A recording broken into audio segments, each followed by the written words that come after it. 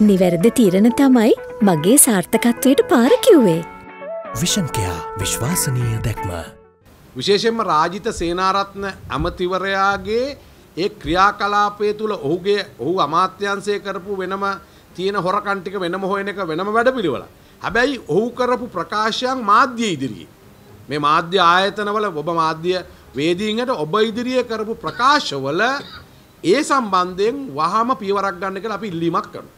අපි දැක්කා ඔහු එක දවසක කියනවා ඔහුගේ ඇස් දෙකෙන් දැක්ක කියලා කෝටි මිටි ගණ බෑග්වල දාගෙන අරගෙන යනවා.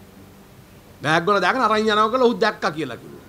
ඊළඟට ඩුබායි බැංකු ගිණුම් සම්බන්ධයෙන් කිව්වා. රත්තරන් අස්පයෝ ගැන කිව්වා.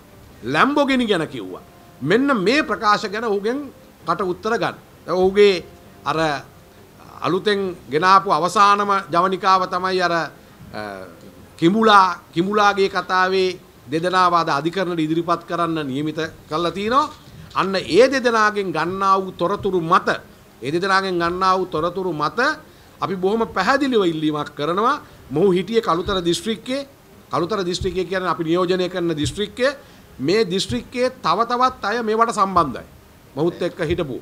අන්නේ හිටපු අය සියලු දෙනාගේ තොරතුරු සම්බන්ධයෙන් අපි දන්න කාරණාත් අපි බලාපොරොත්තු වෙන ඉදිරියට ලබා දෙන්න මේ සියලු දෙනා තමයි බොහොම පැහැදිලිව මේකට අවශ්‍ය කරන වැඩපිළිවෙල සකස් කරේ. ඒ නිසා ඔවුන් දෙදෙනා විතරක් නෙවෙයි ඔවුන් දෙදෙනා ඇවිල්ලා මේකේ නළුව විතරයි මේකේ තිර රචනයේ අධ්‍යක්ෂණය සම්පූර්ණයෙන්ම රාජිත සේනාරත්න හිටපු දත් දොස්තර මහත්තයා හිටපු ඇමතිවරයා. breaking.lk